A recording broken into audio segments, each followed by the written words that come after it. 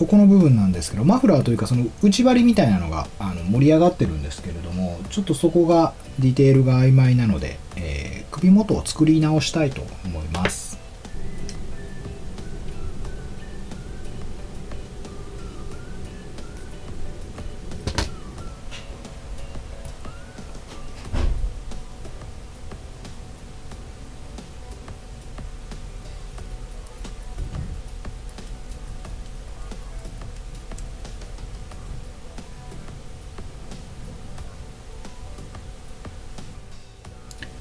えフィギュアの首の向きなんですけれどもこの、えー、下から、えー、声をかけてる兵士とですね基本的には目線を合わさないといけないというのがありますので非常にあのレイアウトとねあの密接に関係しているものですので、えー、車両の位置を決めてしまってから、えここも作っていきたいと思います。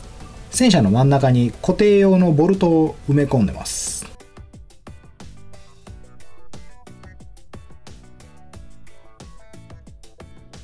この穴に爪楊枝を刺しましてあの位置を決めてしまいたいかなと今回は思います、えー、この辺かな。こうですね。で砲塔を乗せます。で方針の長さも、えーと、とこっちの部分とね関係があるので、えー、方針もつけます。まずメンソレータムを塗ります。首のところにメンソレータムを塗ります、えー、首のこちらをちょっと傷をつけておきましてこちらをね傷をつけておいてここにパテをつけます。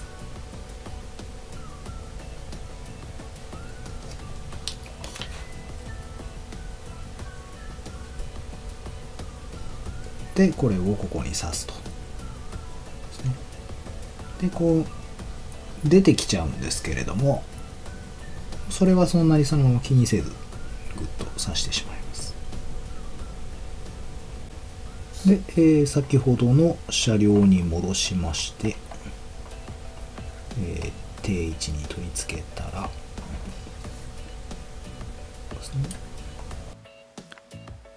こういう感じですね。しっかりこことここの目線が合うように、えしっかり見る見えてるようにしてあげると。そしたらですねこのままあのもう動かしたり外したりしないであの固まるまで待ちます。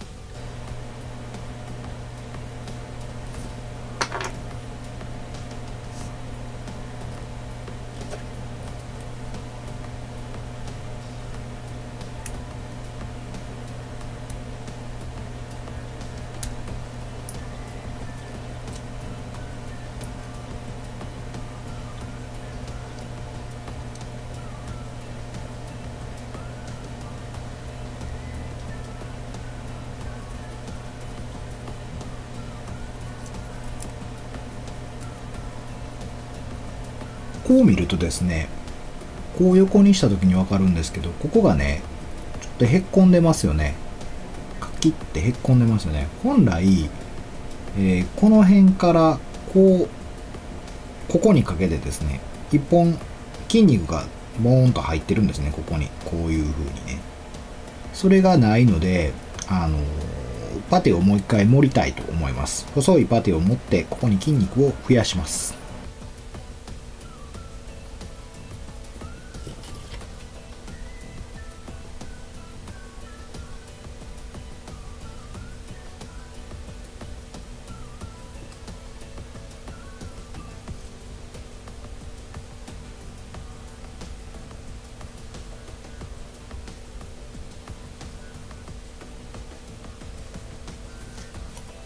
はい。じゃあこれで、えーと、首筋の作り込みは OK ということですね。ここの隙間がねちょっと大きすぎるので、えー、髪の毛を造形して、えー、ちょっと盛り付けておきたいと思います。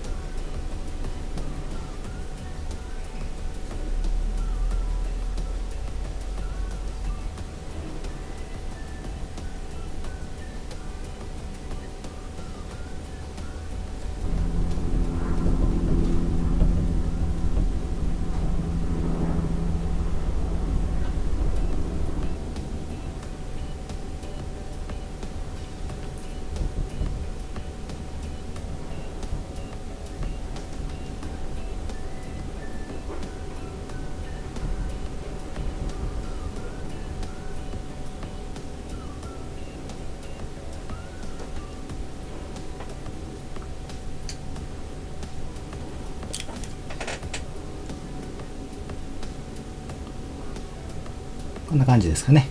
はい。リップクリームがついてますので、えーそれを一回、えー洗いまして洗剤で洗いましてそれからパテを、えー盛り付けていきたいと思います。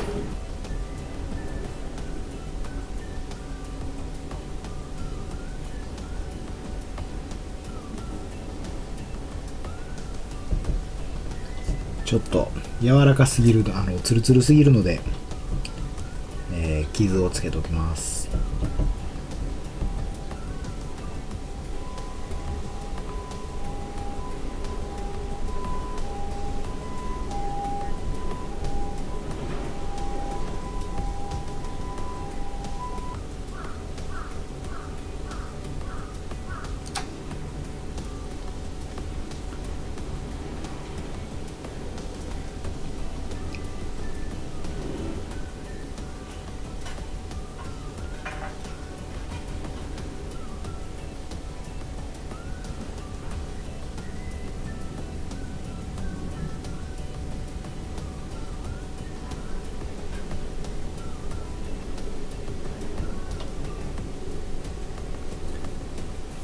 はい。こんな感じですね。これで出来上がりです。